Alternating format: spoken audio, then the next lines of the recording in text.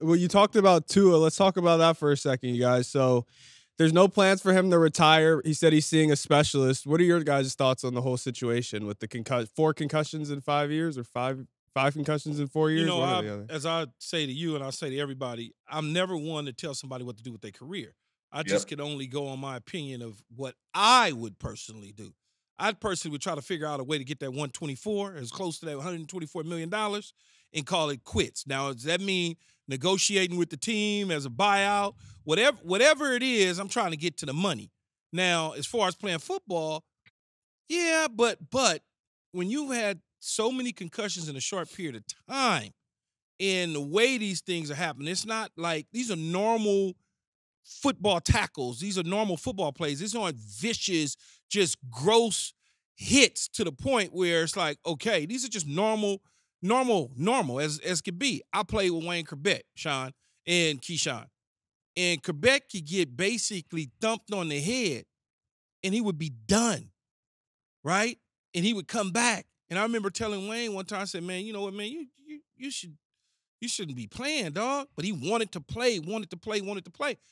I want to see people with their families, their kids, their grandkids have a healthy life. But when you are programmed a certain way in playing football, it's hard to walk away when you've done so much. You got the right coach now, you got the right situation, you're the starting quarterback, you don't have to look over your shoulders or worry about being bit. I understand all of those things, but your health is so important. And the doctors over the next month that he'll be seeing all these specialists, they'll tell him what to do.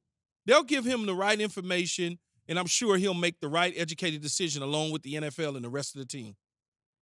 Keyshawn, I'm with you on that, and this is why, man. Um, I never like to tell somebody what to do with their money and their career. Um, I think it's unfair because we don't know what the situation is or or, or what he got to take care of. And I also think that all of us as football players, man, to be honest, we we in the way we know what we signed up for right? I'm not making it okay, but I think that we all know that we're not going to walk away from the game 100%. You're going to have a finger, a knee, a shoulder. You're not walking away from the game 100%. I don't care who you are, but I think that there's a there's a risk reward to what we do, right? And if you're risking to get that close as you can to that 124 to take care of your family and generations on down, is it worth it going out there giving another shot? That's a question that he has to answer himself, even after the doctors tell him. I think that it might be a situation that they sit down and talk to him and say, look, okay, you want to go back out there, but one more time, and we're pulling you. No matter what you do, if, if this happens one more time, you don't have an option.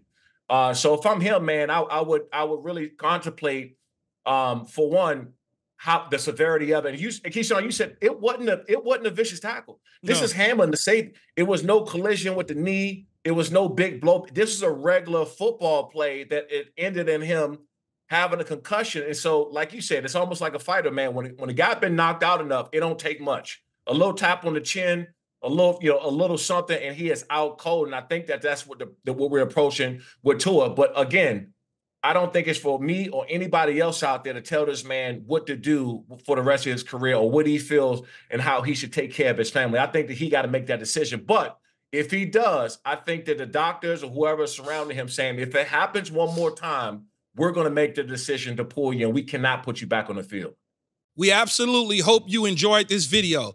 If you want more from us, hit that subscribe button for all videos, full episodes, and exclusive content from the show. And don't forget to find all facts, no brakes on Apple, Spotify, or wherever you get your podcasts.